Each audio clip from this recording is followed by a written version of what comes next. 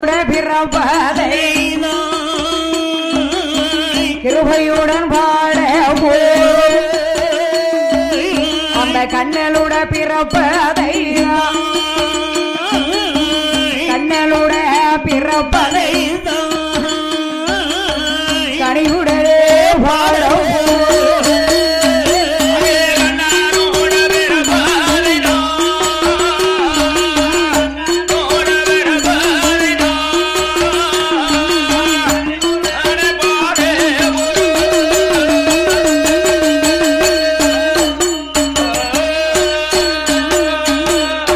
அதாவது அகில உலகத்திலே அகில உலகத்திலே. மாயனாகி என் பெருமாள் அந்த கிருஷ்ண பரமாத்மா கிருஷ்ண பரமாத்மா. மண்ணுலகிலே எப்படி தோன்றினார்? எப்படி தோன்றினார்? எதற்காக தோன்றினார்? எதற்காக தோன்றினார்? கொடியவனாகிய அந்த கம்ச மன்னன் ஆ கம்சம் என்ன மனிதனாக பிறந்தவன் நிறைய இடுக்கம் செய்து ஆண்டு வந்தான். இடுக்கம் செய்து ஆண்டு வந்தார். அவனை அழிப்பதற்காக அழிப்பதற்காக. கம்சராஜன் தங்கை தேவகியின் வயிற்றில் தேவகியின் வயிற்றில் எட்டாவது அவதாரம் ஸ்ரீ கிருஷ்ணனாகவே தோன்றி தோன்றி. உலகத்தை கட்டி காப்பதற்காக கட்டி காப்பதற்காக கலியுகத்திலே கண்ணனாக அவதாரம் எடுத்தார். ஆமா அவதாரம் எடுத்தார். அதாவது பெற்ற ஆ ஜாதி பெற்ற. கொக்கிரகுளமா நகரத்தை சார்ந்த ஆ நகரத்தைச் சேர்ந்த. மணிசங்கரமாள் வெள்ளிசை குழுவினர் ஆமா. இந்த கிருஷ்ணனுடைய லீலைகளை அவர் மண்ணுலகிலே தோன்றி தோன்றி தேவகியின் வயிற்றில் எட்டாவது அவதாரம் ஸ்ரீ கிருஷ்ணனாக பிறந்து ஆயர்வாடி வட்டணத்திலே அசோதையாருடைய வீட்டில் நந்த கோபாலர் அரமனையில் அரமனையில் அந்த கோபியருடைய கோகுலத்திலே கோகுலத்தில இந்த கண்ணன் எப்படியெல்லாம் லீலை செய்தார்? செய்தார். அப்படி என்கின்ற அந்த மாயனுடைய லீலைகளை இப்பொழுது நாமல் பாடப் போகிறோம். பாட போகின்றோம். நாடு நல்ல நல்ல நாடே நாவலர்கள் புகழ நாடே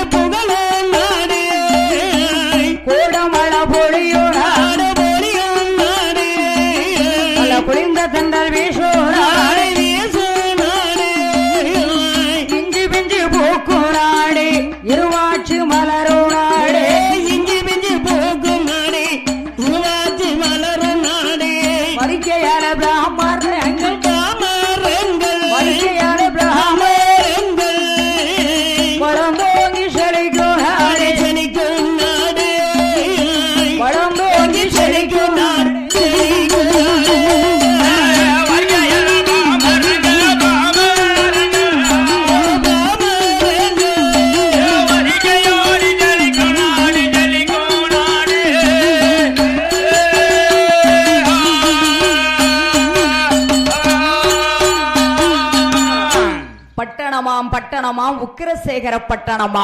உக்கிரசேகர பட்டணமாம் அந்த உக்கிரசேகர பட்டணத்தில் ஆ பட்டணத்தில். உக்கிரசேன மகாராஜன் ஆண்டு வருகிறார். ஆமா மகாராஜன் ஆண்டு வருகின்றார். உக்கிரசேன மன்னருக்கு உக்கிரகங்காளை மணமுடித்து ஆ உக்கிரகங்காலை மனமுடித்து மன்னவரும் தேவியுமா? தேவியுமா? மகிழ்ந்திரை கோணாரே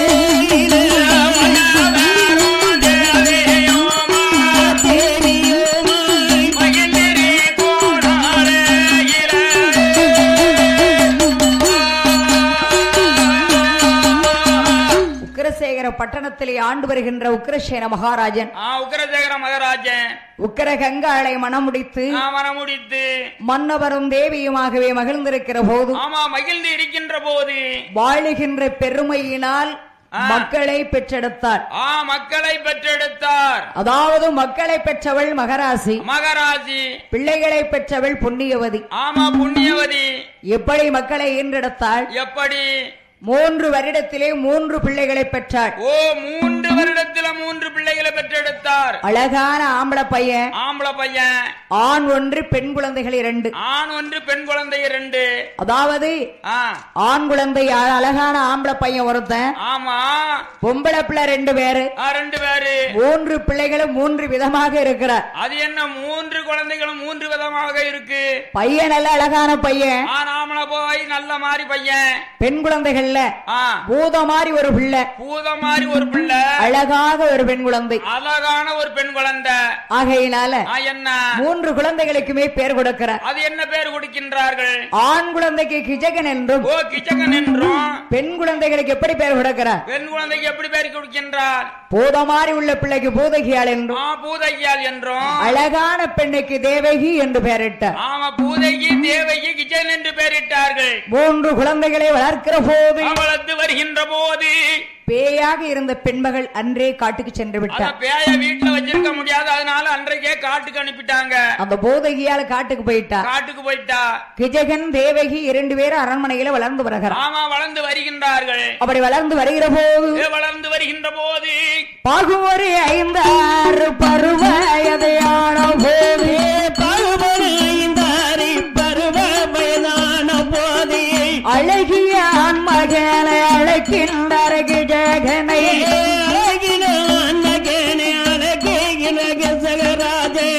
மகனை கூப்பிடுகிறார் மகனை கூப்பிடுகின்றார். அப்பா மகனே கிஜகா. என்ன அப்பா?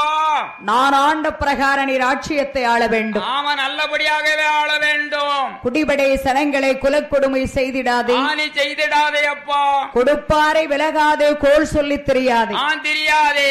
இருள்காலம் அசல் வீட்டில் இருந்து விளையாடாதே. இருந்து விளையாடிடாதே. கல்யாணம் செய்வதற்கு கடன் கொடுக்க நிகழாதே. நீ இகழாதே அப்பா. சண்டை சச்சரவு போடாமல் தாரணியை நீ ஆண்டிடுவாய். ஆமா நல்லபடியாக தாரணியை நீ ஆளுவாய். நாடு நகரத்தை எல்லாம் மகனிடத்திலே ஒப்படைத்தார் அந்த உக்கிரசேன மன்னன். ஆ உக்கரதேக மன்னன் மன்னன் மகனிடத்திலே ஒப்படைத்தார். கொஞ்ச நாள் கழிந்த பின்னால் உக்கிரசேனன் காலமானார். அவர் காலம் சென்றார். அவர் காலம் சென்ற பிறகுதான் அந்த கிஜகன் ராட்சியத்தை ஆளப் போகிறார் ராட்சியத்தை ஆளுகின்ற போது ஆளுகின்ற போது மந்திரி பிரதானிகளோடு அகில உலகத்தை சுத்தி பார்க்க. ஓ நாடு நாடபுரம் சுத்தி பார்க்க வருகின்றார். நாடு நகரத்தை எல்லாம் சுத்தி பார்த்து வீட்டு வந்து அரண்மனையில ஒவ்வொன்றா பார்க்கிறார். ஆமா பார்க்கின்றார். அரண்மனையில பார்க்கும் போது பார்க்கின்ற போது எப்படி இருக்கிறது? அரமனையில எப்படி அம்மா இருக்கின்றது? கஜானாவெல்லாம் காலியா போச்சு. அப்பா பூரா வாரி வழங்கி வள்ளலா அள்ளி விட்டுட்டாரு. யாரு கேட்டாலும் இல்லைன்னு சொல்லாம எல்லாத்தையும் அள்ளி அள்ளி கொடுத்தாரு தான தர்மங்கள் அப்படியே அள்ளி வழங்கி விட்டார். அப்பா அள்ளி அள்ளி கொடுத்தார். ஆமா. பிள்ளையாகிய நாம அதெல்லாம் சேர்க்கணும். அப்படி பிறக்கணும் புள்ள. அவெல்லாம் பிள்ளை. ஆமா நாமளுக்கு பிறந்திருக்கு சொத்து சவத்தெல்லாம் அழிக்க பிறந்திருக்கு. அப்படியா? இது ஆக்க பிறந்த குழந்தை. இவன் யோசிக்கிறான் என்ன யோசிக்கின்றார்? மந்திரி பிரதானிகளை அழைத்து சொல்லுகிறார். என்ன சொல்லுகின்றார் டே மந்திரி. என்ன? பண்டாரத்தை கண்டீரா? பழி வாங்கி போடும் நாம கண்டீரா? வேறே முன்னால் கொண்டு வாழும் ராமா என்று சொன்ன. அவன் வாக்கையுமே அருங்கிழந்த சிவன் மதம் என்று சொன்னார் கிடையாதிலே அடையும் விஷ்ணு மதம் என்று சொன்ன வெட்டும் என்றார் குத்தும்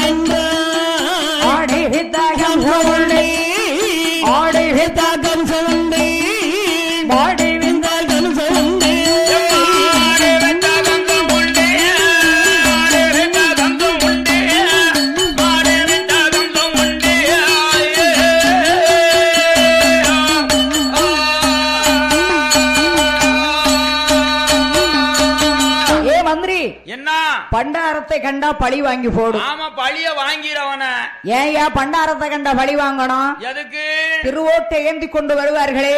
ஆமா திருவோட்டு பண்டாரம். திருவோட்டு பிச்சைக்காரர்கள். ஆமா. இவர்களை எப்படி இருக்கணும்? எப்படி? ஒரு ஆளுக்கு உழைக்க முடியாம. உழைக்க முடியாம. முடியாம இருப்பாங்க பாருங்க. ஆமா உழைக்க முடியாம கை கால் விளங்காம இருப்பாங்க போரு. அவங்க கேட்டா போடுங்க.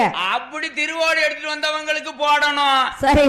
இது சும்மா நாட்டுக்கு திமிங்கல மாதிரி உடம்ப நல்ல நிமித்து தின்னுட்டு வளர்த்து வச்சுக்கிட்டு சரி. சரியான உமி குலுக்க மாதிரி இருந்துகிட்டு குங்குமத்தையும் சந்தனத்தையும் மேலெல்லாம் பூஜிக்கிட்டு அப்பா அம்மா எனக்கு பிச்சை போடுங்கன்னு அந்த பண்டாரத்து போடக்கூடாது.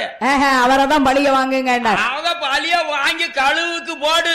நெற்றியிலே நாமம் அணியக்கூடாது நெத்தியில நாம மணிய கூட என்ன தண்ணியணும் நேர முன்னால கொண்டா வெறும் நெத்தியா இருக்கட்டும். ஆமா வெறும் நெத்தியா இருக்கட்டும் சும்மா பைபாஸ் ரோடு மாதிரி. அப்படியா? ஆமா.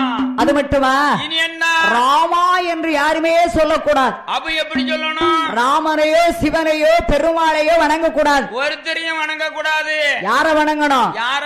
இந்த கிஜகனாகிய என்னை வணங்க வேண்டும். கிஜக நமோ கிஜக நமோ கிஜோக நமோன்னு ஆ கிச்சி கிச்சி தாம்பாளன்னு சொல்லு அப்படின்னா. கிச்சு கிச்சு கம்பாளம்னாக்கி கைட்டுல குச்சி வச்சு விளையாடுவாங்க. ஆ, கீட்டக நமோ என்று சொல்லுங்க அப்படின்னா. ஆமா என் பேர உச்சரிங்க கிஞ்சக்கனு நமோன்னு? சரதா. அது மட்டுமா? இனி என்ன சொல்லணும்? ஆடி வித்தாய் கம்சம் மாடு வித்தாலும் கமுசம் பிள்ளை பிறந்தாலும் கம்சம் பிள்ளை இறந்தாலும் கமுசம் மூலையில இருப்பவர்க்கு முக்கால் காசை கம்சம் உண்டு விற்பவர்க்கு கம்சம் உண்டு அரைக்கு விற்பவர்க்கு. அரை காசை கம்சம் உண்டு இல்ல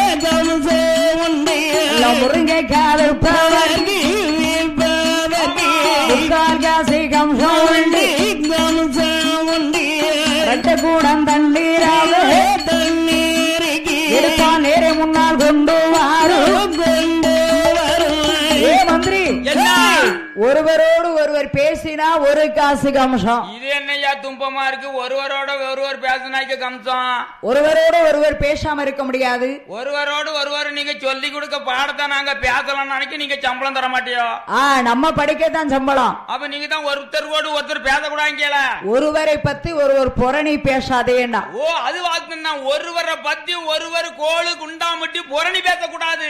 அங்கங்க இழுத்து விட்டு பேசாதீங்க அப்படின்னு. ஆமா. அப்படியெல்லாம் ஒரு சட்ட திட்டத்தை போட்டா? ஆமா வாடா சட்டம் போடா சட்டம் இருடா சட்டம் எந்திரிடா சட்டம்னு போடுதாரு. கிணற்றிலே தண்ணீர் வத்திலாம் உடனே கீறி வெட்டி போடுங்கள். ஆமா கீழே வெட்டி கீறி வெட்டி போட்டுருங்க. நல்ல இறக்க இறக்க பொங்குற கிணறா இருக்கணும். அப்படி இருக்கணும் ஊத்து ஓடணும். அப்படி நல்ல கிணறா இருந்தா வையுங்க இல்லைன்னா அதை அடங்கி அடிச்சு போடுங்க மூட்டுங்க அப்படின்னு. ஆமா கணத்தை மூடுங்க.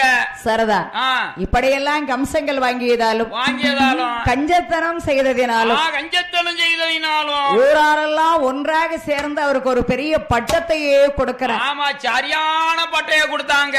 பட்டம் பட்டம். ஓ பட்டத்தை கொடுத்தாங்களா?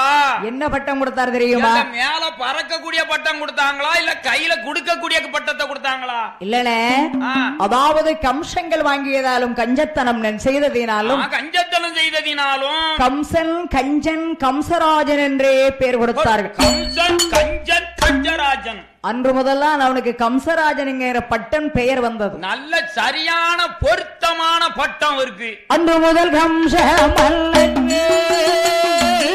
அரசாட்சி செய்து அவரை ஆண்டு வரும் அந்த கம்சனுட தங்கை கட்டழகி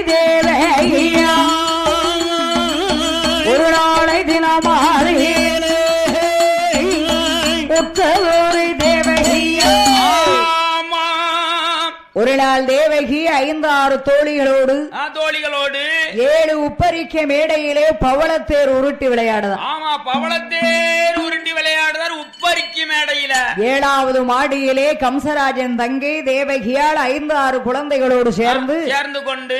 பவளத்தேர் உருட்டி விளையாடுதான் ஆமா பவளத்தேர் உருட்டி விளையாடுதா? அதை பார்த்தான் இந்த கம்ச மன்னன். ரம்சமுடி மன்னன் பார்த்துட்டார். அடேங்கப்பா. அப்பங்கப்பா என்ன அழகு. ஏங்கப்பா நம்ம தங்கை தேவகியால் இம்பூட்டு இந்த வயசுல இம்பூட்டு அழகா இருக்காள. பதினாறு பிராயத்துல. பக்குவதி ஆகி. அதாவது பாருங்க அவன் பார்க்கும் போது அவளுக்கு வயசு எத்தனை தெரியுமாண்ணே ஆ, தங்கச்சிக்கு வயசு எத்தனை? ஒன்பது வயது. ஓ ஒன்பது வயது. ஒன்பது வயதிலே இவள் அழகாக இருந்தாளானால் இருந்தாளானால். பதினாறு பிராயத்துல பக்குவதி ஆனால் அவளை பார்க்க பதினாயிரம் கண்கள் வேண்டும். பதினாயிரம் கண்ணு வேணுமனாக்கி வெள்ளூர் பக்கம் போனோம். எதுக்கு? வாழைக்கண் எடுக்கவா? ஆமா நீங்க பதினாயிரம் கண்ணு இங்க கூடியாலும் வாழை குறையத்தான் போட்டிருக்காங்க.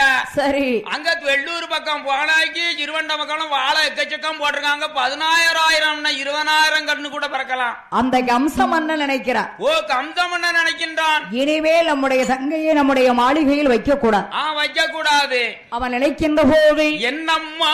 ஒன்பது வயது தங்கைக்கு என்ன செய்யணும்? என்ன செய்ய வேண்டும்? ஒரு நல்ல மாப்பிளைய பார்த்து கல்யாணம் பண்ணி வச்சிடணும். என்ன ஒன்பது வயசுலயாமா கல்யாணம் பண்ணி வைக்கணும்? ஒன்பது வயசுல தேடி இளைஞ்சாதான் பதினாறு வயசுலயாவது மாப்பிளை கிடைக்கும். ஓ அப்படி நீங்க சொல்றீங்க. ஆமா. ஒன்பது வயசுலயே மாப்பிளைய தேட வேணும்னு. ஆமா. ஆ சரி. கம்ச மன்னன் யாரை கூப்பிடுகிறார்? யார? மந்திரி அவள் அழைத்து மன்னவனோ சொல்லுகிறார். மந்திரிய தான் அழைத்து மன்னவனோ சொல்லுகிறார். பாருங்கனோ மந்திரி வார்த்தை ஒன்று சொல்லை கேளு. பாருங்கன மந்திரிய வார்த்தை தங்கையான தேவகிக்கு மாலை மனம் முடிக்க வேணும். கங்கையான தேவகைக்கு மாலை மனம் முடிக்க அவளை கல்யாணம் முடிக்க வேணும். முடிக்க வேணும். கல்யாணம் முடிக்க கண்காட்சி பார்க்க வேணும். வேணும் பார்க்க வேணும். நாம கண்காட்சி பார்க்க வேணும்.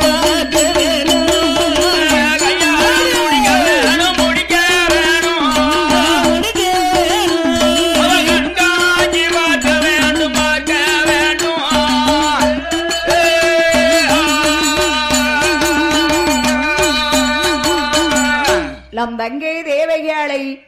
ஒன்பது வயதிலே கல்யாணம் பண்ணி கொடுக்கணும். ஆமா ஒன்பது வயசுலே கல்யாணம் பண்ணி கொடுத்துட வேண்டியதுதான். தேவகியாளுடைய அழக போல அழகை போல. சீமையில் மாப்பிள்ளை பாருங்கள். ஆமா நாலு திசைக்கும் ஜிமெயில போய் மாப்பிள்ளை பார்த்துட்டு வாங்க. அப்படியா? ஆமா தெச்சன கருவி எல்லாம் தேடி பார்த்துட்டு வாங்க. சரி.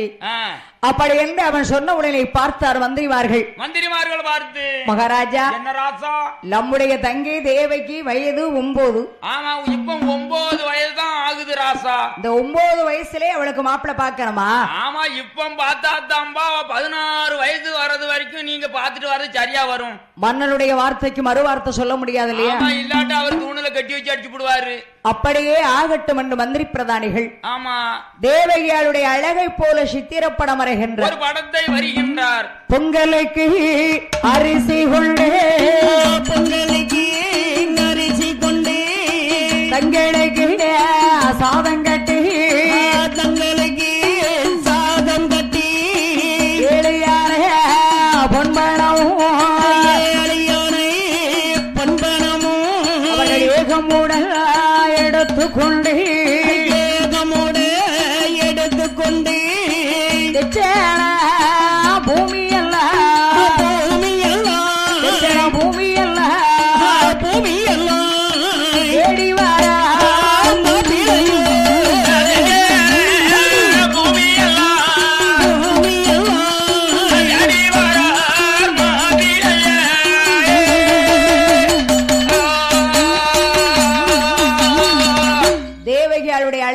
சித்திரப்படம் வரைந்து அவரிந்து பொங்கலுக்கு அரிசி கொண்டு தங்களுக்கு சாதம் கட்டி சாதம் கட்டி ஏழையான பொன்படம் ஏகமுடன் சேகரிக்கிறார் ஆம சேகரிக்கின்றார்கள். அப்படியே எடுத்துக்கொண்டு எடுத்துக்கொண்டு எச்சன பூமியெல்லாம் தேடி வருகின்றார் மாப்பிள்ளையை. ஆமா மாப்பிள்ளையை தேடி வருகின்றார்கள். தேவகியாளுடைய அழகை போல சீமையிலேயே மாப்பிள்ளை இல்ல.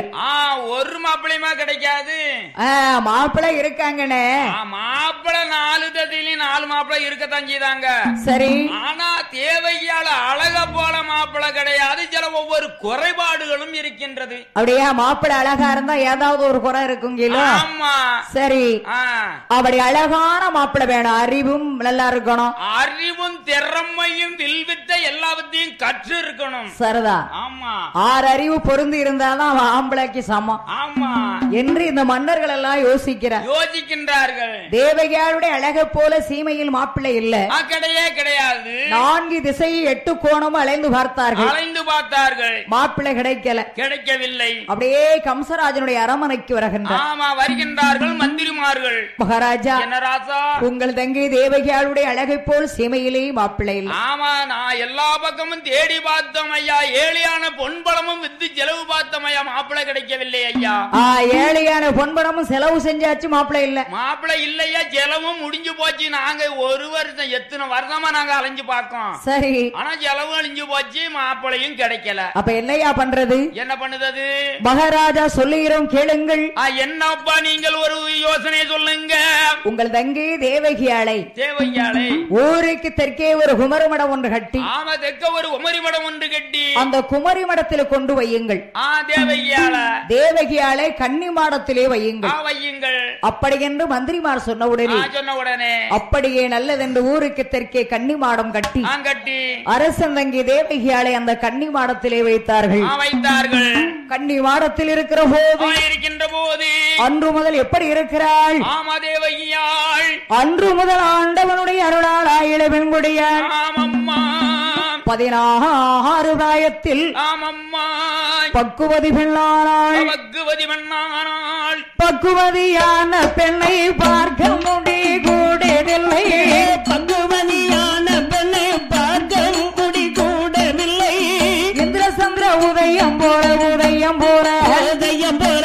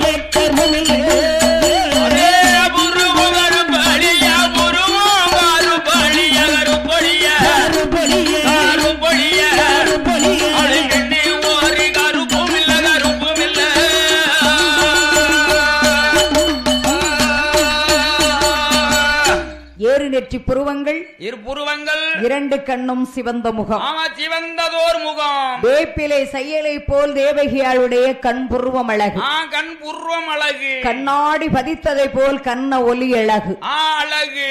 மார்பழகும் தோல் அழகும் மதிக்க முடிவதில்லை. முடிவது கிடையாது. பதினாறு ராயத்துல பக்குவதியாகி அபக்குவதியாகி கன்னி மாடத்திலே கன்னி தேவகியால் இருக்கின்ற பொழுது இருக்கின்ற போது. தோழியர்கள் எல்லாம் பார்த்தார்கள். என்ன? இதுதான் நல்ல சமயம். ஆ சமயம். மகாராஜன் ஏங்கி தவித்துட்டு இருந்தாரு ஆமா தவிச்சுக்கிட்டு இருந்தாரு அவரிடத்துல போய் சொல்ல வேண்டும். சொல்ல வேண்டுமே. கம்சராஜனுடைய அரமனைக்கு வருகின்றார். வருகின்றார்கள். மகாராஜா உங்கள் தங்கை தேவகி தேவகி. பதினாறு காயத்துல பக்குவதியானார் என்னது? என் தங்கச்சி பக்குவதி ஆயிட்டாளா? ஆமா மரசே ஆமா. ஆமா பக்குவதியானான்னு சொன்ன உடனே எனக்கு சந்தோஷம் தாங்க முடியல. சந்தோஷமும் தாங்க முடியல. இருந்தாலும் கொஞ்சம் வேதனையாவும் இருக்கு. ஏம்ல யாமனா துட்டுலா செலவாளியும் சடங்கு கிடங்கு சாத்திரத்தை முடிக்கணுமே. அப்படியா? ஆமா. அவ எப்ப எப்படி எதிர்பார்த்து காத்திருந்தார்? ஆமா அப்பா கிடையாது. சரிதா. நாம தான் பூரத்தையும் செலவழிக்கணும். யாருக்கவே நீர் கம்சராஜன் இல்லையா? ஆமா நாம அடுத்தவங்க கிட்ட தான் நாம புடுங்குவோம் நாம செலவழிச்சிட மாட்டோம். அப்படியா? அதனால தான் எனக்கு ஒரு சரியான பேர் கொடுத்திருக்காங்க கம்ச முடிய மன்னம்னு. கம்சராஜன். ஆமா. ஆனா கம்சராஜன் யோசிக்கின்றார் நம்முடைய தங்கை தேவகி பதினாறு பிராயத்துல பக்குவதியாகி இருக்கிறார் பக்குவதி ஆகியிருக்கா பக்குவதி ஆகியிருக்கிறாள் என்றால் இவளுக்கு ஆனந்த மகிழ்ச்சி. ஆ மகிழ்ச்சி. ஆனந்த மகிழ்ச்சி கொண்டு கொண்டு. தங்கை தேவகியால் பூத்த கிரகத்தை பார்க்கணும். ஆமா நல்ல நேரத்துல பூத்திருக்காளா இல்ல சப்பட்ட கிரகத்துல பூத்திருக்காளான்னு பார்க்கணும்ல? சரிதான் ஆமா.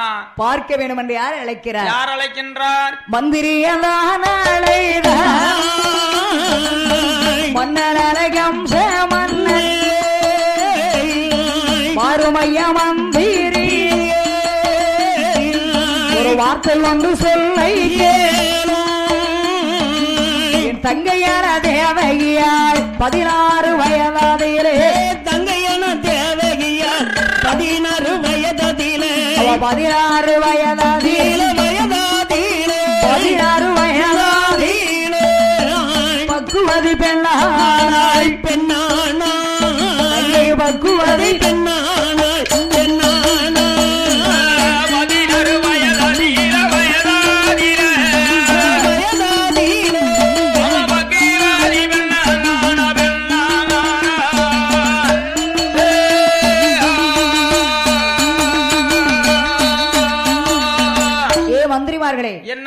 ya என் தங்கை தேவகி பதினாறு வயதிலே பக்குவதியாக இருக்கிறார் பக்குவதி பெண்ணாயிருக்கா? ரொம்ப சந்தோஷம் மகாராஜா. ஆமராசா பக்குவதி யாராள் என்றால் நான் சொல்வதை கேளுங்களப்பா. ஆ, என்ன நீங்க சொல்லுங்க?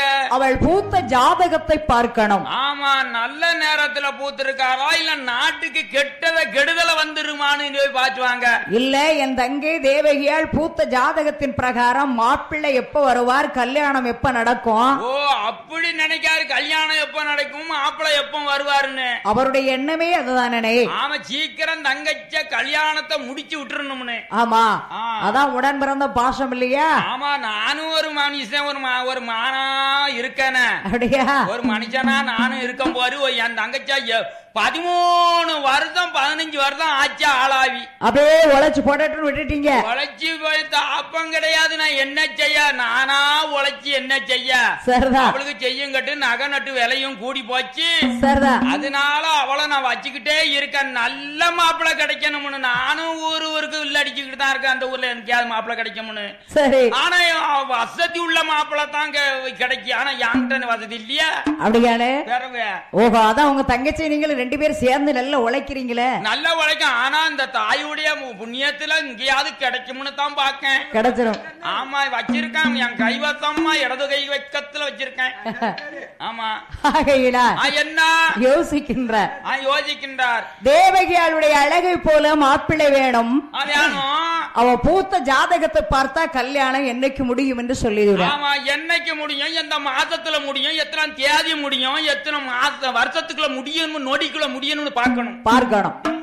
இந்த நாட்டிலே எத்தனை சோதிடர்கள் இருப்பார்களோ அத்தனை பேரை அழைத்து வாருங்க அப்படின்னு. ஆமா எத்தனை சோசியம் இந்த நாட்டுல இருக்காங்களோ அத்தனை பேரை அழைச்சிட்டு வந்துருங்க. அப்படி என்று கம்சராஜன் சொன்ன உடனே ஆமா அறிக்கையிட்ட உடனே. மந்திரிமார்கள் எல்லாம் ஒவ்வொரு ஊரா சோதிடரை தேடுகிறார். ஆமா மன்னர் சொல்லுக்கு மறு சொல்லு கிடையாது. அவங்க அவங்க சொன்னதுதான் தோசம் விட்ட காடு தெரியாம விடாத காடு தெரியாம பாஞ்சு வராங்க. அப்படியா? ஆமா. நாட்டிலே இருக்கக்கூடிய சோதிடர்கள் அத்தனை பேரை அழைக்கின்றார். அழைக்கின்றார்கள். சோதிடரை அழைக்கும் போது அழைக்கின்ற போது சோதிடர்கள் எல்லாம் கம்சராஜன் அரமனைக்கு வரணும்னா. யோசிக்கிறார்கள். ஏன் வர வேண்டிய தானுங்க தான் தன்மானம் நிறைய கிடைக்குமே இருட்டுன்னு வர வேண்டிய தானே கம்சராஜனுடைய அரண்மனையிலே சென்று சோசியம் சொன்னோமானா? ஆ சொன்னமானால். உள்ளதை சொன்னாலும் அடிப்பான். ஆ சவுக்கிய கொண்டு அடிப்பாரு. பொய்ய சொன்னாலும் வெட்டுவான். உண்மையை சொன்னாலும் அடிப்பாரு பொய்யை சொன்னாலும் அடிப்பாரு. அதனால வர்றதுக்கு பயப்படுதாங்க. போனாலும் குற்றம் போகாட்டலும் குற்றம். அப்ப என்ன செய்வது என்று யோசிக்காங்க எல்லா சோதிடர்களும் கம்சராஜனுடைய அரண்மனைக்கு வருவது என்றால் பயந்து போய் அவ வீட்டுல உட்கார்ந்துட்டாங்க. ஆமா ஆமா. அவங்க அவங்க வீட்டுல இருக்காங்க. மனைவிமாரு போ சொல்ல போ சொல்ல மாட்டுக்காங்க. அப்படியா? ஆமா. அப்படி இருக்க? இருக்க. அதிலே ஒரு சோதிடர். அதிலே ஒரு ஜோதிடர் யார் தெரியுமா? அவர் யாரம்மா? தொண்ணூறு பத்தும் சென்ற தொண்ணூறாம் பத்து சென்ற கிழவர்தானே. வந்தனல்ல கிழவர்தானே. நானூறு பத்தும் சென்ற. நானூறாம் பத்து சென்ற. கிழவர்தானே. நரைத்த நல்ல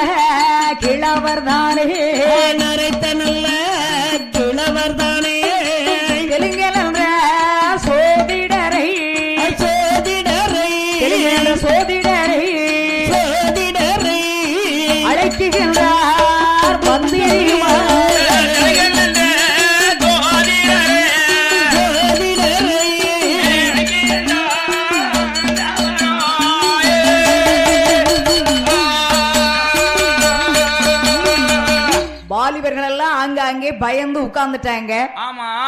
அதுல ஒரு வயதான சோதிடர். ஆமா வயதான இருந்தாரு நம்ம அந்த கட்டக்காரர மாதிரி தொண்ணூறும் பத்தும் சென்ற துபண்ட கிழவர். ஓ துவண்டதோர் கிழவர். நானூறும் பத்தும் சென்ற நரைத்த கிழவர். ஆமா பூரா வெள்ள முடியாச்சு தலை பூரா அது பூரா நரைத்ததோர் கிழவர். அப்படியா? ஆமா. தெலுங்கன் என்ற சோதிடர். தெலுங்கன் என்ற ஜோதிடர் அந்த சோதிடரை அழைக்கிற போது அழைக்கின்ற போது அவர் யோசிக்கிறார் என்ன? நாமளும் நம்ம வயசுக்கு இவ்வளவு நாள் ஆச்சு. ரொம்ப வயசா தொண்ணூறு வயசாச்சு இவ்வளவு காலமும் ஆச்சு. எந்த இடத்துலயும் பொய் சோசியம் சொன்னதில்லை நமக்கு பிழை மோசம் வந்ததில்லை. நாம வெற்றி பொறுத்து தான் நாம எங்கேயுமே திரும்பி வந்திருக்கோம். அப்படியா? சில தன்மானம் எல்லாம் வாங்கிக்கிட்டு பரிசெல்லாம் மெடல் எல்லாம் வாங்கிட்டு வந்திருக்கோம். நல்ல கலைஞர். நல்ல கலைஞர். நல்ல சோசியம் சொல்லக்கூடியவர் எங்க போனாலும் வெற்றியோட தானே வருவாரு? ஆமா அவர்தான் துணிஞ்சு எங்கய்யா வரணும் வாரமையான்னு சொல்லுவாரு. அதானே நம்ம கிட்ட திறமை இருக்கு. ஆமா. திறமை இருந்தா கடலையும் தாண்டி போயிட்டு வரலாம் இல்லையா? போயிடலாமா தெலுங்கர் என்ற சோதிடர் நினைக்கின்றார். என்ன நினைக்காரு கம்சராஜனுடைய அரமனையிலே சென்று சென்று சோசியத்தை சொல்லிவிட்டு சொல்லிவிட்டு வெற்றியோடு வரணும்னு நினைக்க. தன்மானத்தோடு வாங்கிட்டு வரலாம்னு நினைச்சாரு அவர் மனைவியை கூப்பிடுறார். ஆமா. அடியே சீதா. என்னங்க? என்னடி பண்ணிட்டு இருக்க தோசை வாட்டி கொண்டு இருக்கிறேன். தோசை வார்த்து கொண்டே இருக்கியோ? ஆமா. ஆமாங்க நான் இப்ப தோசை சுடுதான். உங்களுக்கு தான் ஆறுன தோசை ஆகாத. கொதிக்க கொதிக்க சாப்பிடணும். ஆமா அப்படி தோசை கல்லுல அப்படி எடுத்தாதான் உங்களுக்கு தட்டுல போட்டு தந்துடணும். நல்ல வேளை எடுத்து வாயில போடாம விட்டாள. ஆமா நீங்க அதை நல்லா மொறிச்சு மொறிச்சு நல்லா எள்ளு பொடி வச்சு தின்னு புடிவியா அப்படியா? அதனாலதான் உங்களுக்கு சூடா சூடா தோசை சுட்டுக்கிட்டு இருக்கேன். சரிடி. அந்த பஞ்சாங்கம் வேட்டை எடுத்துட்டு வா. ஏ, பஞ்சாங்க ஏட்டாங்க ஆமாண்டி. எதுக்குங்க? ஏன்னா பஞ்சாங்கம் வேடை எடுத்துட்டு வர சொல்றீங்களே எங்க போறேன்னு கேட்டா. ஆமா. அடியே நான் கம்சராஜனுடைய அரண்மனையில சோசியம் சொல்லிட்டு வரேன்டி கம்சராஜன் அரமனைக்கு போறீங்களா? ஆமாம்மா. போகாதீங்க. அட அசுடு. போகாதீங்கோட அவசகனமா ஏண்டி சொல்ற? சரி. அவன் உள்ளத சொன்னாலும் அடிப்பான் ஆ, பொய்யா சொன்னாலும் அடிப்பான். அடிப்பான். அதனால நீங்க அங்க போகவே வேண்டாம். ஆமா மன்னவா. அடடடட போகாதீங்க போகாதீங்கன்னு கண்ணீரெல்லாம் விடுற. ஆமா நீலி கண்ணீர் வடிக்கா. அடி அசுடு. இது நான் இதுவரைக்கும் நான் எந்த இடத்திலும் பொய் சோசியம் சொன்னதும் இல்ல பிழை மோஷம் வந்தது இல்லடி அப்படியா? கவலைப்படாம இரு. நீங்க சொன்னாலும் கேட்க மாட்டியா? எப்படி போய் தொலைங்க? இருந்தாலும் எனக்கு ஒரு பொண்ணா பிறந்தவா உங்களுக்கு கழுத்தை நீட்டி நான் தாலிய தொங்க போட்டுட்டோம்ல கழுத்துல? அதனால நீங்க உங்க மேல எனக்கு கொள்ளாத உங்களுக்கு ஒண்ணுன்னா எனக்கு துடிக்கு உடம்பு. உண்மைதானே? ஆமா. கணவனுக்கு எது கஷ்டம் அப்படின்னா மனைவிக்கு தானே வேதனை. பிறகு மனைவி பிறகு குழந்தையாளுக்கா துடிக்கும்? அதே மாதிரி மனைவிக்கு ஒரு வேதனை அப்படின்னா கணவனுக்கு தான் துடிக்கும். அது அந்த குடும்பம் நல்லா வளர்ந்தேறி இருக்கும். சரிதான் ஆமா அவதானே அவ துடிச்சுக்கிட்டு கிடக்கா கிடக்கட்டும் நினைச்சுக்கிட்டு போனாம்னா. ஒரு புருஷனா ஆவானா? ஆக மாட்டாரு. ஆகையினால் பஞ்சாங்கம் ஏடெடுத்து புறப்பட்டு வருகின்றார் சோதிடர். ஆ ஜோதிடர் வருகின்றார். எங்க வருகிறார்? கம்சராஜன் வாராறு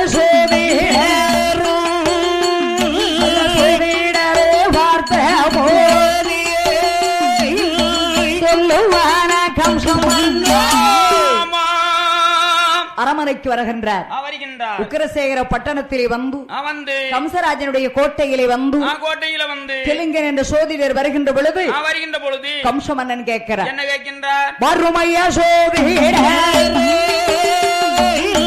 எதற்காக அழைத்தேன் என்றால் என்னுடைய தங்கை ஏற்ற ஒரு தேவையா பதினாறு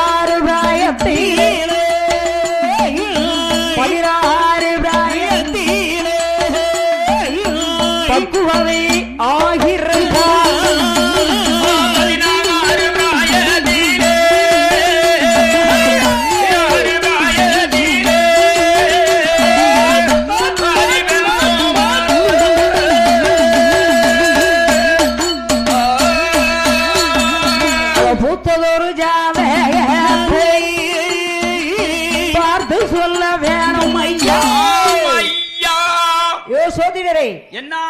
என் தங்கை தேவைக்கு பதினாறு காயத்துல பக்குவதியாக இருக்கிறார் ஆ, பக்குவதி ஆகியிருக்கின்றார் ஜாதகத்தை பார்த்து.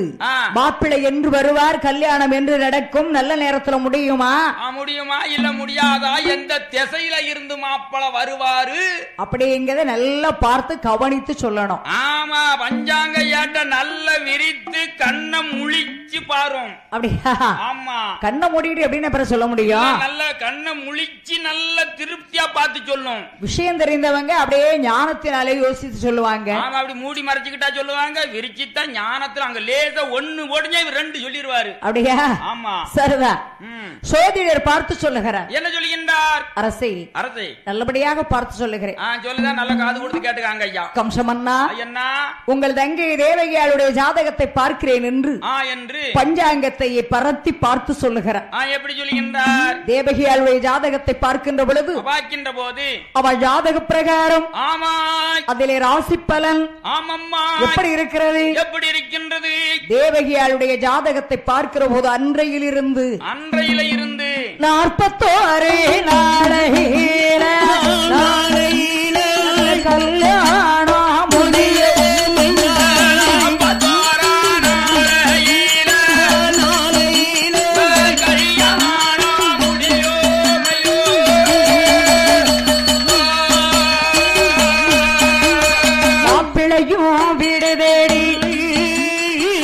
அறைக்கே வந்திடுவார்.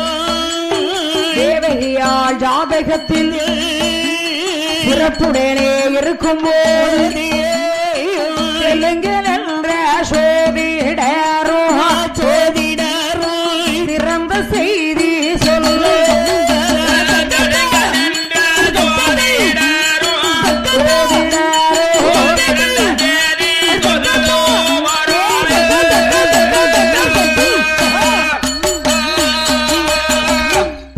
பஞ்சாங்கத்தை பார்த்து சொல்லுகிற ஆ, சொல்லுகின்றார். அரசே கம்சமன்னா கம்சமுடி மன்னா உங்கள் தங்கை தேவகியாருடைய ஜாதகத்தை பார்க்கிற பொழுது பார்க்கின்ற பொழுது. இன்றையிலிருந்து நாற்பத்தி ஒரு நாளைக்குள்ள இன்றைக்கு நினைச்சுக்காங்க இன்றையில இருந்து நாற்பத்தோரு நாளைக்குள்ள. நல்ல கல்யாணம் முடியும். உங்க தங்கச்சி தேவையாளுக்கு மாப்பிள்ளை வீடு தேடி வருவார். ஆமா. நல்ல மகாராஜா வந்து சேருவார். மகாராஜன் சூரிய பிரகாசம் மாதிரி வந்து சேருவாரு. அப்படியா? ஆமா. இப்படி ஜாதகத்தில் இருப்பதை பார்த்து சோதிடர் சொன்னார். சொன்னார். கம்ச மன்னருக்கு வந்தது பாருங்கள் கோபம். உண்மையை தான் சொல்லிட்டார பிற என்னத்தையும் வாழை போட்டு உருவுதாரு? ஏலா. ஏழு பொன்மனமும் செலவு செய்து தேடி பார்த்தோம். தேடி பார்த்தோம் தெச்சன பூமியெல்லாம் தேடி பார்த்தோம். தங்கை தேவகியாளுடைய அழக போல மாப்பிள்ளையே இல்லைன்னு சொன்னாங்க இந்த மந்திரிமார்கள். ஆமா இந்த மந்திரிமார்கள் பூரா இல்லன்னு மறுத்து விட்டார்கள். இவ இன்று வந்த சோதிடர். ஆ ஜோதிட நாற்பத்தி ஒரு நாளைக்குள்ளே கல்யாணம் முடியும் மாப்பிள்ளை வீடு தேடி வருவார் என்று சொல்லுகிறாரே. சொல்லுகின்றார கிழட்டு சோதிடர். இவர் உயிர் பிழைப்பதற்காக இப்படி பொய்ய சொல்லுகிறார். என்னமோ தெரியவில்லையே. வாழை எடுத்தா அவன் தலையை சிவனன் வர்ற. ஆமா அண்ணா குட்டி சோதிடர தலைய வெட்டத்துக்கு வருகின்றார். சோதிடரை வாழை கொண்டு வீசுவதற்கு வருகிற போது மந்திரிமார்கள் எல்லாம் பார்த்தார்கள். பார்த்தாங்க. வேண்டாம் மகாராஜா. மகாராசா? நாற்பத்தி ஒரு நாட்களை சொல்லவில்லை. சொல்லவில்லை. நாற்பத்தோரு வருஷத்தையோ நாற்பத்தோரு மாசத்தையோ சொல்லல. நாற்பத்தோரு மாசத்தையும் நாற்பத்தோரு வருஷத்தையும் சொல்லவில்லை. நாற்பத்தி ஒரு நாளை மட்டும் சொல்லி இருக்கிற ஆமா நாற்பத்தோரு நாள் தானே சொல்லி இருக்காரு அந்த நாற்பத்தி ஒரு நாளைக்குள்ளே மாப்பிள்ளை வந்தா மாப்பிள்ளைக்கும் உங்க தங்கச்சிக்கும் கல்யாணம். கல்யாணம். அப்படி மாப்பிள்ளை வீடு தேடி வரல அப்படின்னா இந்த சோதிடரை என்ன செய்யலாம்? சோதிடருக்கு பெரிய கல்யாணத்தை பண்ணி அனுப்பி வச்சிருவோம். அனுப்பிடலாம் நம்ம மேலோகத்துக்கு. சரிதா? ஆமா. அது வரைக்கும் இவர் என்ன பண்ணலாம்? என்ன பண்ணலாம்? புடிச்சு கல்லறையில புடிச்சு கெட்டி வைங்க. ஆனால் இந்த சோதிடரை என்ன செய்ய வேண்டும்? என்னம்மா? கால் விலங்கு கை விலங்கு கட்டுடேன மாட்டவே இருபத்தோரு விலங்கு கூட்டி இருத்த வேணும் கல்லறை. ஏ, தத்தி, தி, தத்தி, தத்தி, த. சொல்லுங்க என்ற சோதிடரை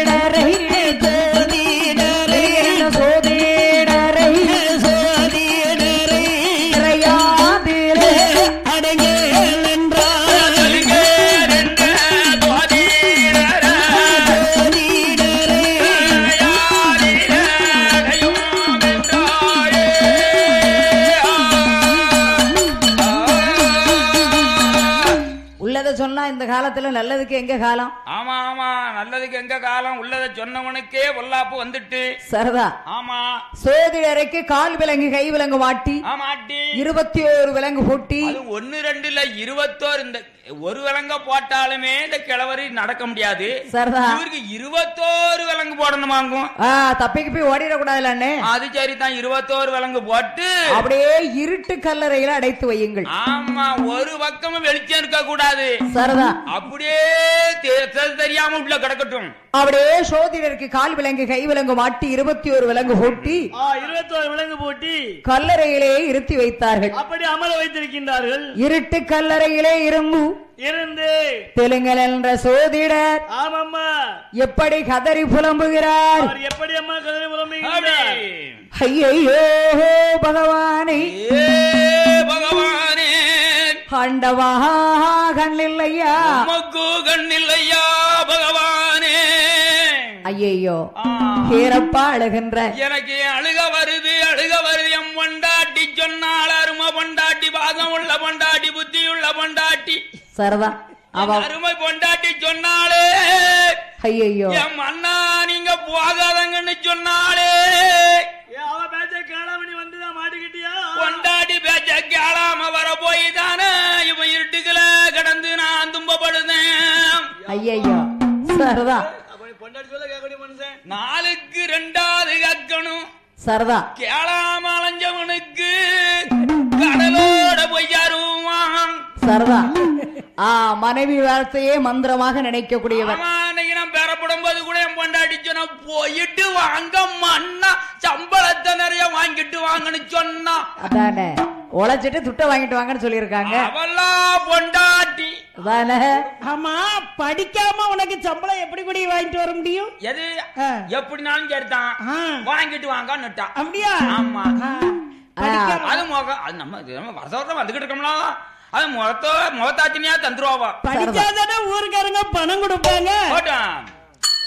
சோதிடர் தெலுங்கு நல்ல சோதிடர் கல்லறையில் இருந்து இருந்து கொண்டு புலம்புகின்ற ஆமா. ஐயோ ஐயோ நான் பொய் சோசியம் சொன்னது உண்டா எனக்கு பிழை மோசம் வந்தது கிடையாது. வந்துட்டுதே. இப்ப வந்துட்டு. நாற்பத்தி ஒரு நாள் என்று வரும் என்று தெரியவில்லையே ஏன் தெரியவில்லையே. கதவு எங்கன இருக்கு முக்கு எங்கன இருக்கு ஜவுரி எங்கன இருக்குன்னு எனக்கு தெரியலையா? ஒருவேளை நாம சொன்ன சோசியம் பொய்யாக போய்விட்ட. என்னமோ தெரியலையே. கொடுமை என்ன ஆகும் என்பதே தெரியவில்லையே தெரியவில்லையே. சொன்னாலே மனைவி பேச்சை கேட்காமல் வந்து மாட்டிக்கொண்டோமே. மாட்டிக்கொண்டோமே மாட்டிக்கொண்டோமே. பகவானே என்ன? இந்த கல்லறையிலே பாச்சாக்கடி பள்ளிக்கடி தேள்கடி மூட்டைக்கடி கொசுக்கடி. அத்தனை கடியெல்லாம் தாங்க வேண்டியதா வருதே. குமரி மூட்டை கொஞ்சம் குலாவியதாம் சோதிடரை. ஆ, ஜோதிடரை கிளவி மூட்டை கிண்டி கிளறிச்சான் பரவாயில்லையா கிளை மட்டும் தான் கடுமையா கிண்டி கிளறுது. சரிதான் ஆமா. கல்லறையிலே சோதிடர் கதறி புலம்புகின்ற பொழுது. ஆ, புலம்புகின்ற பொழுது. இறைவனுடைய அருளால் என்ன நடக்கின்றது? என்னம்மா? நாடு நல்ல நல்ல நாடே நாவலர்கள் புகழோட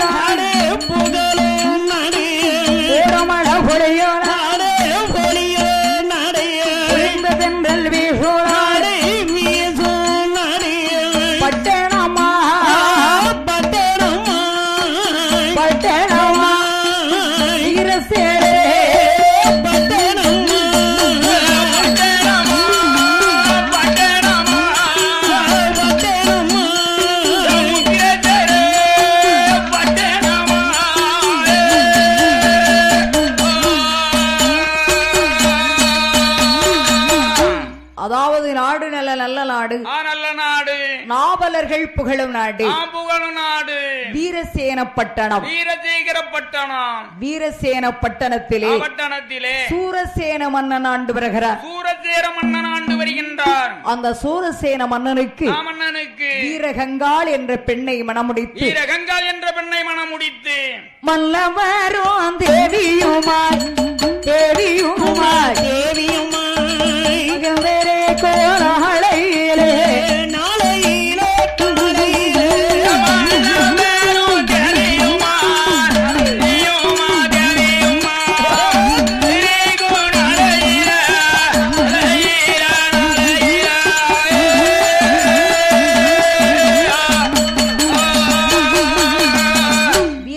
பட்டணத்தை ஆண்டு வரக்கூடிய வீரசேன மன்னனுக்கு வீரசேகர மன்னனுக்கு ஏகப்பட்ட செல்வங்கள். ஆமா. ஒரு நாட்டை ஆளுகின்ற மன்னனுக்கு செல்வத்துக்கு குறையவா இருக்கும்? அவன் எக்கச்சக்கமான கண்ணு கட்டாத தொலைக்கு வரைக்கும் செல்வங்கள் வசதிகள் இருக்கும். சொத்து சுகமுறை அவருக்கு தான் ஆமா. கணவன் மனைவி இருவேரும் சிறப்பாக இருக்கிற போது ஆயிருக்கின்ற போது பகவானுடைய அருளால அருளினால அந்த அம்மா அன்று முதல் குளிமறந்து ஆ, குழி மறந்து கட்டி வைத்த திரவியம் போல் கை குழந்தையை பெற்றாள். ஆ பெற்றெடுத்தாள். என்ன நேரத்துல எப்படி பிள்ளைய பெத்தா பாருங்க. எந்த நேரத்துல அந்த அம்மா பிறந்தா? வைகாசி மாதம். வைகாசி மாசம் வளரும் வரை ஏழாம் தேதி. வளரும் பிற ஏழாம் தேதி. கேட்ட நட்சத்திரம் திருவோண லக்கணம். ஆமா கேட்ட நட்சத்திரம் திருகோண லக்கணம். திருவோணம். ஆமா. அவளுடைய லக்கணம் அமைந்த அழகான ஆண் குழந்தையை பெற்றாள். ஆ பெற்றெடுத்தாள். பாலகன் பிறந்த பராபலன் எப்படி இருக்கிறது ஆ, பாருங்க எப்படி இருக்கு? பிள்ளையை பெற்று நல்ல பேணி வளர்க்கணும் என்று ஆ வளர்க்கணுமே என்று கணவன் மனைவி இருவேருமாக சேர்ந்து சேர்ந்து கொண்டு அந்த அழகான ஆண்மகனுக்கு பெயர் ஆ, கொடுக்கிறார் எப்படி பேர் கொடுக்காங்க? அதாவது வைகாசி மாதம் பிறந்ததினால் பிறந்ததினால் வசுதேவன் என்றே பெயர் கொடுக்கிறார். ஓ வசுதேவ பாலகன் என்று பேர் கொடுத்தாங்க. வசுதேவன் என்று பெயரிட்டு மகனை அருமை பெருமையோடு வளர்க்கணும்னு ஆசைப்பட்டார்கள். ஆமா தாயும் தகப்பனும் ஆசைப்பட்டாங்க. அந்த பையனுடைய கரக பலன் பலன் எப்படி இருக்கு பாருங்க. எப்படி? பாலகன் பிறந்த பத்தாவது நாளில் பத்தாவது நாளில் அவன் தாயார் மாண்டு போனாள். அப்படி போடம்மா தாயார் மாண்ட பின்னால் வசுதேவனை ஆமம்மா. தகப்பனார் வளர்த்து ஆ, வருகிறார் தகப்பனார் வளர்த்து வருகின்றார். கொஞ்ச நாளைகளின் போதையா கரைந்தூதையா தகப்பனாரும் ஆண்டு போன போனமாண்டு போனாய் தகப்பனார் மாண்ட பின்னால். மாண்ட பின்னால். அந்த வேலைக்காரி வளர்த்துவார்.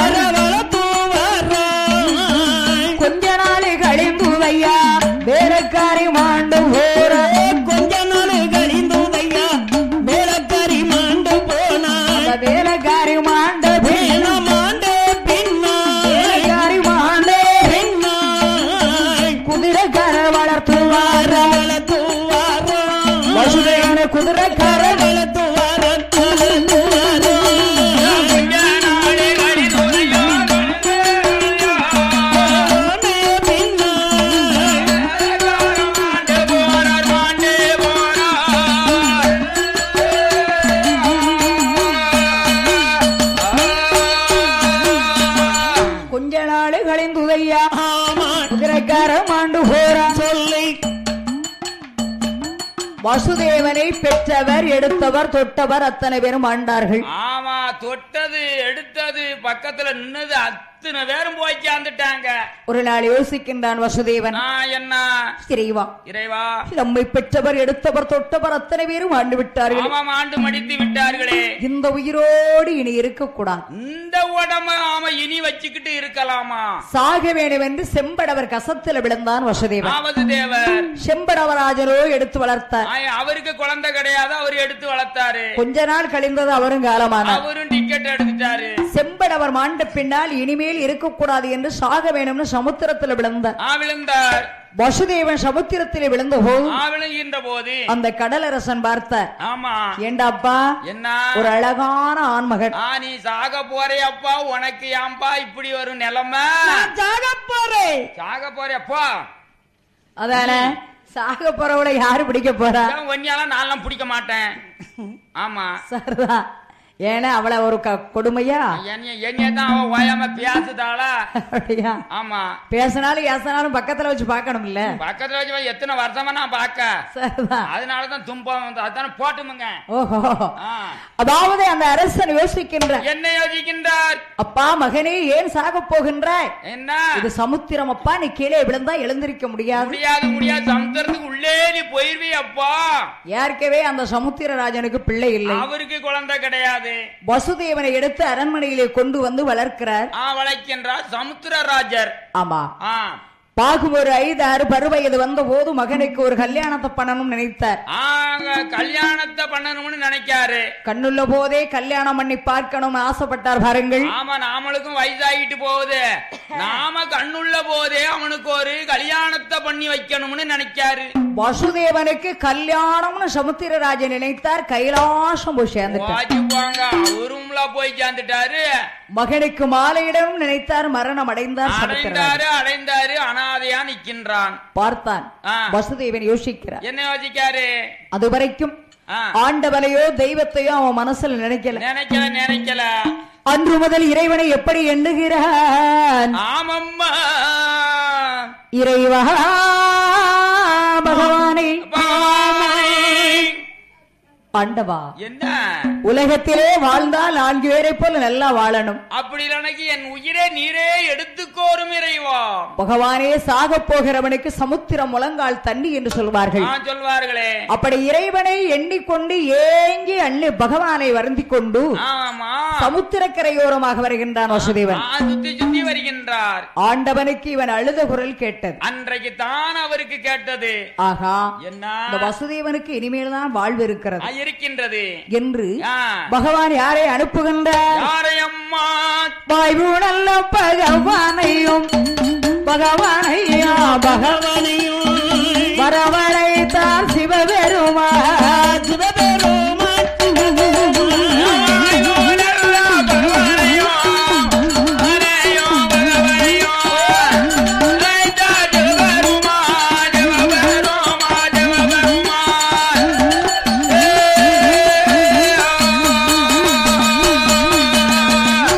தேவா என்ன? பூலோகத்திலே சமுத்திர கரையோரம் ஒரு பாலகன் கல்யாண பிராயத்துல சாக போறேன் நிக்கிறான். ஆமா நிக்கின்றான். அவனை எடுத்து. கம்சராஜன் தங்கி தேவகிக்கு மாப்பிள்ளையாக சேர்த்து வரணும் ஆமா கம்சமுடி மன்னன் அரண்மனையில கொண்டு விட்டுரு. அப்படி என்று சொன்ன உடனே ஆ சொன்ன உடனே வாயு பகவான் வருகிறார். ஆ வருகின்றார். எப்படி வருகிறார்? எப்படி அம்மா? சூரவல்லி காற்று போல காற்று போல காத்து போல. சுழட்டி கொண்டே வருகிறாரே வருகிறாரே வருகிறாரே.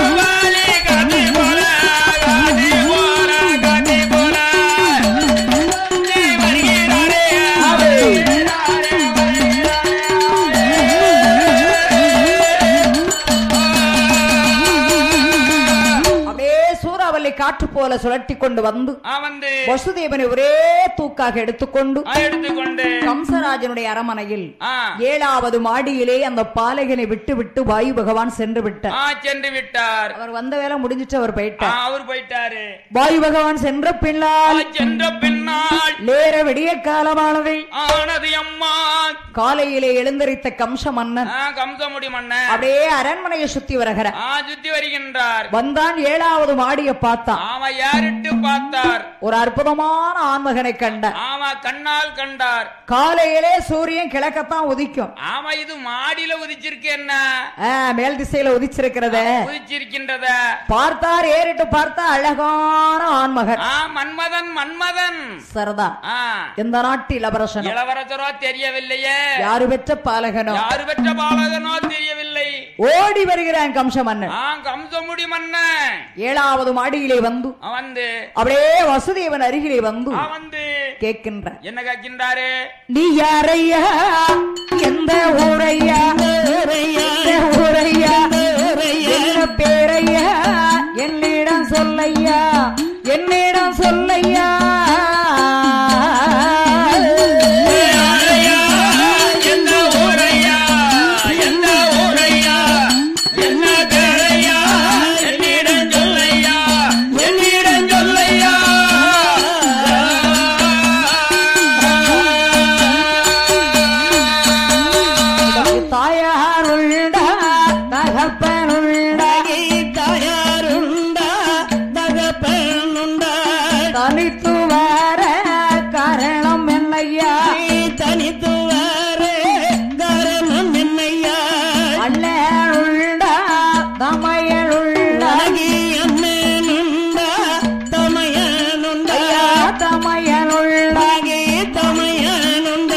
la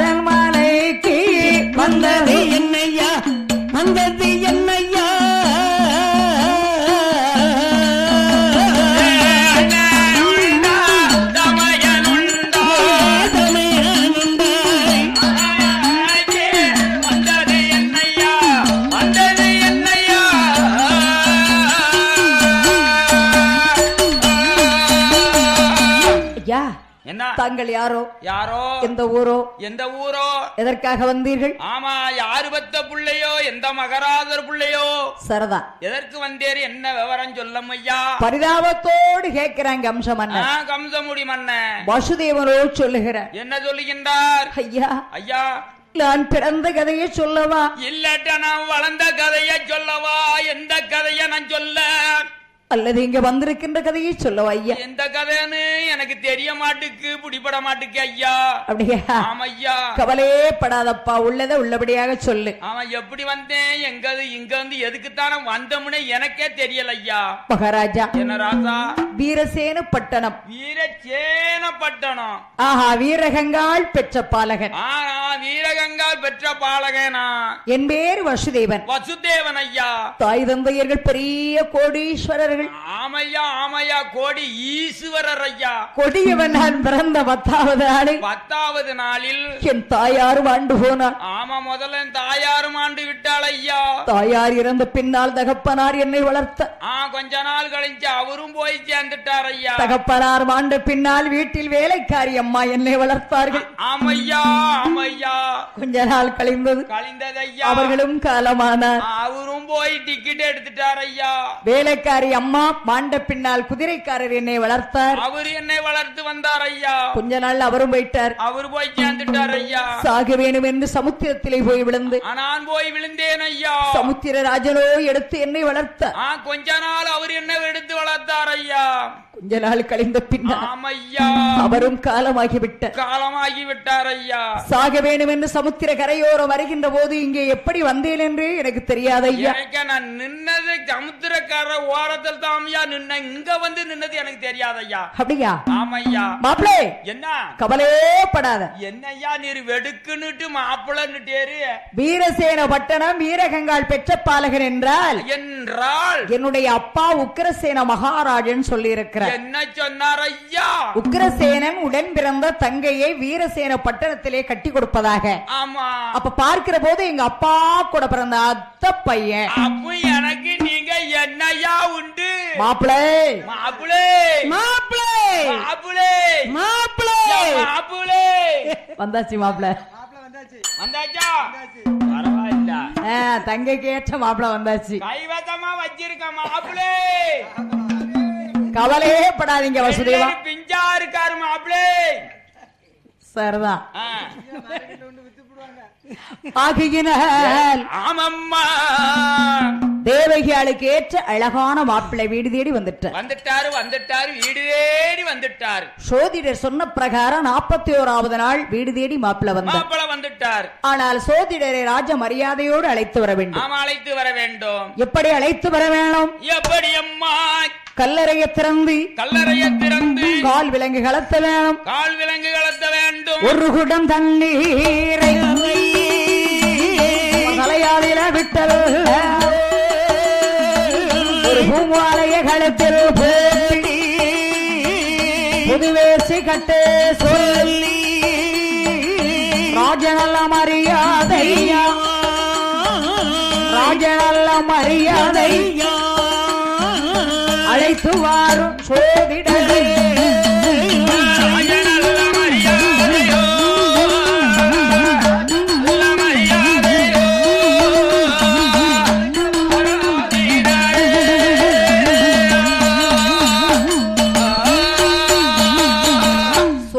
சொன்ன பிரகாரம் மாப்பிள்ளை வீடு தேடி வந்து விட்டார். வந்து விட்டார். ஆனால சோதிடரை ராஜ மரியாதையை அழைத்து வாருங்கள். ஆமா மந்திரிமார்களே நீர் நீங்க போய் அவரை நல்ல மரியாதையோட ராஜ மரியாதையோட அனுப்பிட்டு வாங்க அப்படியே ஆகட்டும் அண்ணா. ஆமாம் அண்ணா ஓடி வந்தார்கள். ஆ மந்திரிமார்கள். ஒருவர் வந்தார் கல்லறையை திறந்தார். ஆமா பட்டீர்னு கல்லறைய திறந்தாரு. இன்னொருவர் வந்தார் ஆமா. பால் விலங்கு கலத்தினார். ஆமா பட்டீர்னு கலத்தினாரு. அடுத்து ஒருவர் வந்தார். ஒருவர் வந்தாரு. ஒரு குடம் தண்ணிய தலையில ஊத்திட்டார். ஆமா யாருக்குனே சும்மாவே இருட்டு கலர்களை விரைச்சுக்கிட்டு இருக்காரு.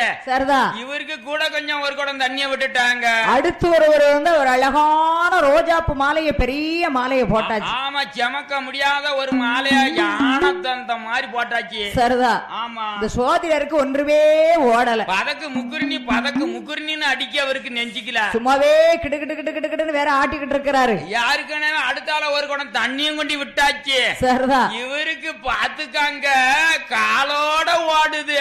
என்னதுல தண்ணி? ஏம்மா தண்ணிமா சரிதான் ஒரு தண்ணி ஊத்துன தண்ணி போகுது. வேற சிறுநீரா பொழியும்னு நினைச்ச ஊத்துன தண்ணி. அப்படியா? ஆமா. ஆஹா. அடுத்து ஒருவர் புது வேஷ்டியை கட்டிட்டார். கேட்டுட்டாங்க. அப்பதான் சோதிடர் நினைக்கார் என்ன நினைக்காரு? ஆகா. ஆகா.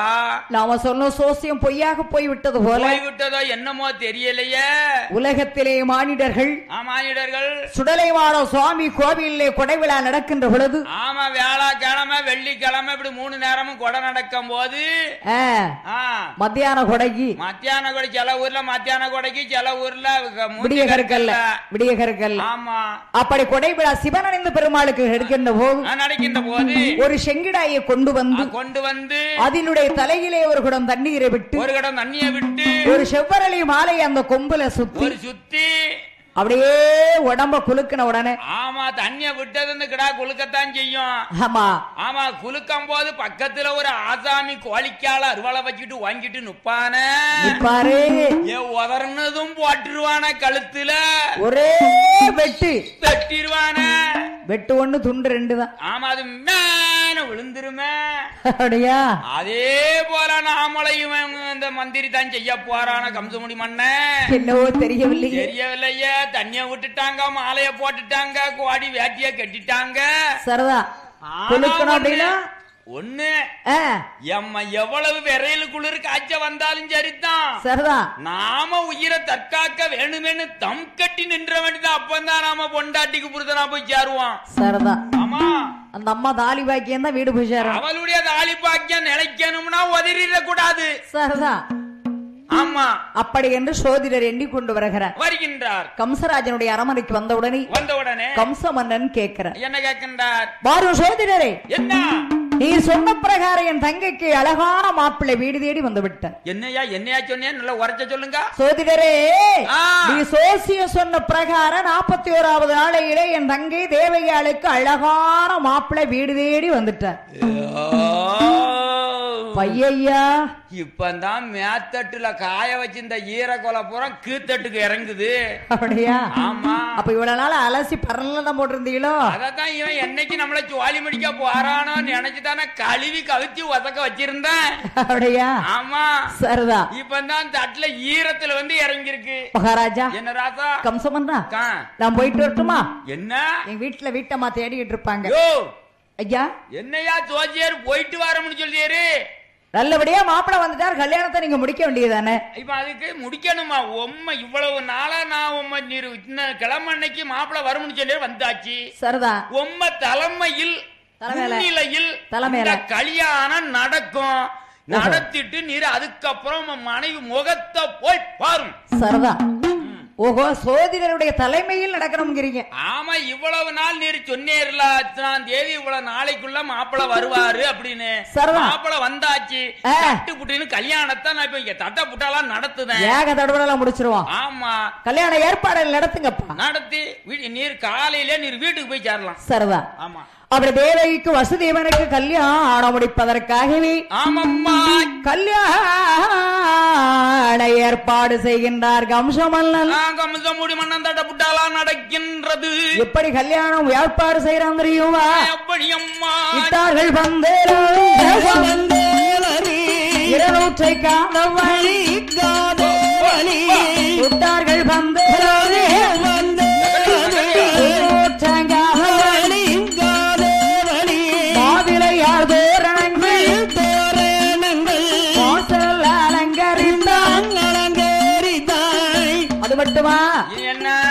பந்தல் அலங்காரம் வான வேடிக்கையும் யா, அப்பப்பப்பப்பப்ப, முழங்குது. என்னத்தை தான் கேட்கணும்னே தெரியல. முப்பத்தி ரெண்டு மேளவாத்தியம் முழங்குகிறது ஏ அப்பா முப்பத்தி ரெண்டு மேல வாத்தியம் ஆமா கம்சராஜன் தங்கை தேவகிக்கும் வசுதேவன் மாப்பிள்ளைக்கும் அல்லவா கல்யாணம் நடக்க வேணும். ஆமா, ராஜ மேளம் ஆ, ஆ, இந்த இது நையாண்டி மேளம். சரிதா. வேற இந்த என்ன தப்பட்ட? தார தப்பட்ட ஆள தப்பட்ட. பிறகு அது என்ன மேளமா சண்டை சண்டை போடும் பாருங்க. மலையாளத்து செண்ட மேளம். சண்டை மேளமாமா சண்டை சண்டை சண்டை சண்டை சண்டை சண்டை சண்டை சண்டை சண்டைங்க. ஆமா அதை அடிச்சாலே சண்டை மாதிரிதான் தெரியும். அது தர அவங்களும் சண்டை சண்டை சண்டைன்னு தானே அடிக்காங்க. ஆமா சட சட சடன்னு அடிச்சிருவாங்க. ஆமா ஜுவாலாபரி பொறிஞ்சத மாதிரி. சரிதா அது சண்டை மேளம் இவ்வளவு மேளம் முப்பத்தி ரெண்டு மேளம் அங்க முழங்குது. விளங்குகிறது. ஐயா அரசர் வீட்டு மன்னர் வீட்டு கல்யாணம் இல்ல. அம்மண்ணே அப்பா ஒண்ணுக்கு மத்தவங்களே எந்த பாடு போடுறாங்க? அதாவது ஐம்பதாயிரம் செலவழிக்குதுன்னா கூட ஒரு ஐம்பதாயிரம் கடத்தை வாங்கி அடுத்த வீட்டுக்காரன் வச்சுக்கணுமா? சரிதா. ஏ அவனுக்கு அவனோட நம்ம என்ன பெரிய ஜீவனா? குறை- குறைஞ்சவனா? குறைஞ்சவனா? அவன் சொத்தத்து வாங்கினா போய். நம்ம பத்து பைசா வட்டிக்கு வாங்கியாவது போடு போடுன்னு போட்டுருவோம். வாங்கி என்ன?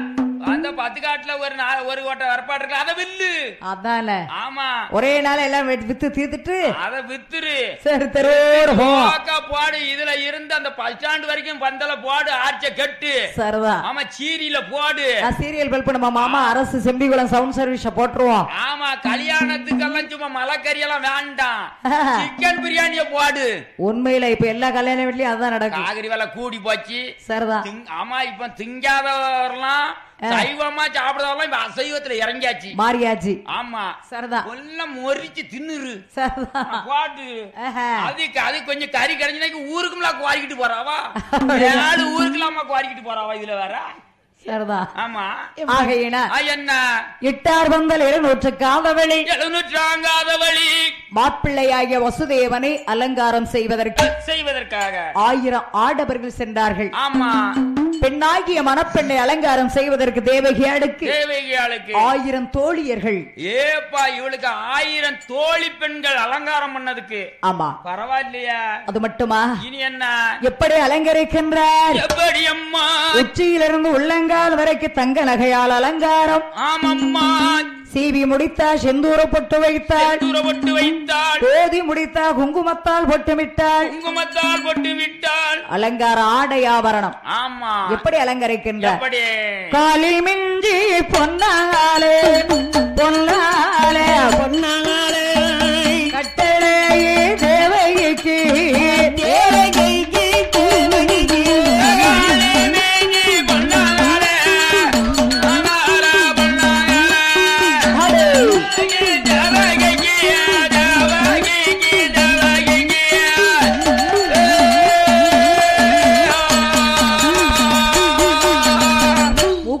மூக்குத்தியாம் கம்மல்கள்லாம் முன்கையிலேயும் ஆமாதிரம்மா அட்டிகை காரைகள் அதற்கு தங்க சவடைகள்.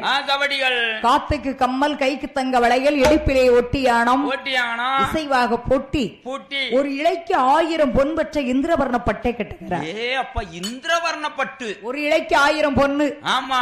அப்ப எப்பேற்பட்ட சேலையா இருக்கும் ஐயா, அம்மா அதான் அவருக்கு எக்கச்சக்கம் வசதி இருக்கு கம்சமுடி மன்னர் இல்ல. அதான. அப்படி அழகாகவே ஆடை ஆபரண அலங்காரம் செய்து செய்து.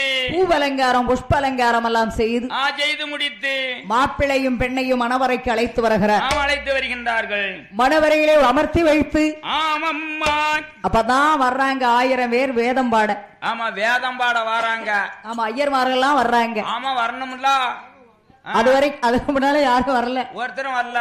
சரிதான். இப்பதான் வாராவா எல்லாரும்? ஆ கல்யாணம்னாவே எல்லாரும் ஏகமா வந்தாச்சு. முன்ன வரும்போது தான் பயந்தாவல. சரிதான். மாப்பிள்ள வந்துட்டாரு கல்யாணம் பண்ணாக்கல சாப்பிடறதுக்காய் போய் சேர்ந்துருன்னு வரவா. ஆ. அப்படி வருகிற போது ஆமம்மா. முப்பத்தி ரெண்டு மேளவாத்தியம் முழங்கி கொண்டிருக்கிறது. இருக்கின்றது முன்னூறு வள்ளுவர்கள் முகூர்த்தமிட வந்தார்கள். வந்தார்கள். அம்மினல்ல வலமாலே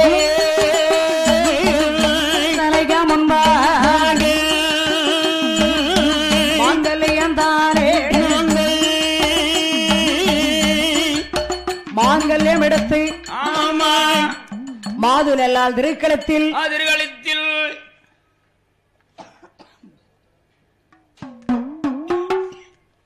ஆ, ஆ, மகாராஜா வீட்டு கல்யாணம்.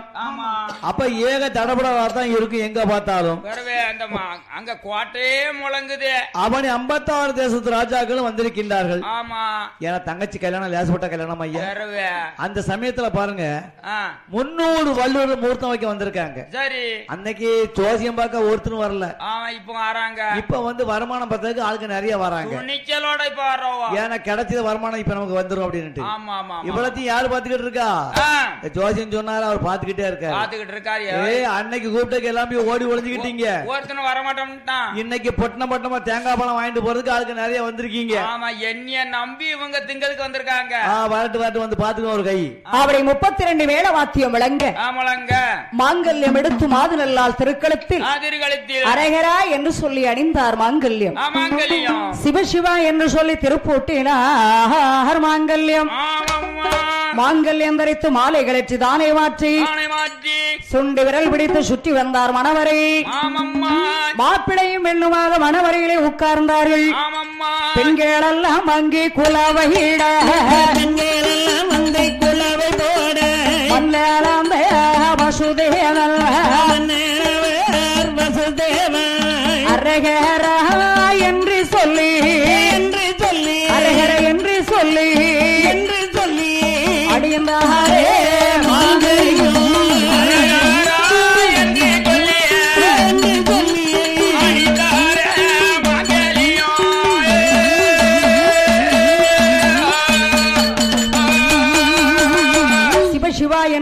திருப்பூட்டினார் மாங்கல்யம். மாங்கல்யம் தரித்து மாலை கழற்றி தானே மாற்றி. சுண்டு விரல் பிடித்து சுற்றி வந்தார் மணவரையை. மணவரையை சுத்தி வந்து மாளிகையில் அமர்ந்திருக்கிறார்கள். ஆயிருக்கின்றார்கள். வந்ததோர் சனங்களுக்கு வணங்கல் உற்றார் தாம்பூலங்கள். தாம்பூலங்கள். தாம்பூலம் சந்தனம் சகலதுமே கொடுத்து சாப்பிட்டு இறைபாறு இருக்கிற போது இருக்கின்ற போது. அதாவது பாருங்க அந்த காலத்துல அரசர் வீட்டு கல்யாணம் அப்படின்னா அகிலமே தெரியணும். ஆமா அரசர் வீட்டு கல்யாணம்னா அகிலமே தெரியணும். மன்னர் வீட்டு கல்யாணம் அப்படின்னா மாநிலம் எல்லாம் தெரியணும் தெரிய வேண்டும். அப்படின்னா என்ன பண்ணுவாங்க? என்ன செய்வாங்க?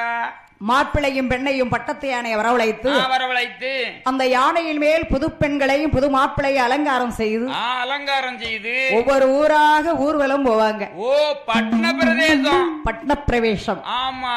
அவரை அலங்காரம் செய்து தேவகி வசுதேவனை புதுமண தம்பதியர்களை அந்த பட்டத்து யானையிலே அமர்த்தி வைத்து அமர்த்தி வைத்து. பக்கத்துல இருக்கவெல்லாம் புறப்பட்டு வருவாங்க. ஆமா எல்லாரும் ஒன்னா துணைக்கு வருவாங்க. மன்னன் கம்சராஜனும் வருகிறார். வருகின்றார். அவரை பட்ன பிரவேசம் வருகிற போது ஆ வருகின்றார்